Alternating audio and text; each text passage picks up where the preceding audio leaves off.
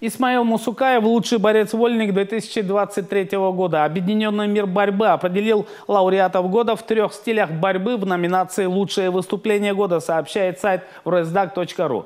В этом году легионер сборной Венгрии, борец из Кабардино-Балкарии, воспитанник Хасавюртовской школы вольной борьбы стал обладателем золотой медали на лицензионном чемпионате мира в Сербии.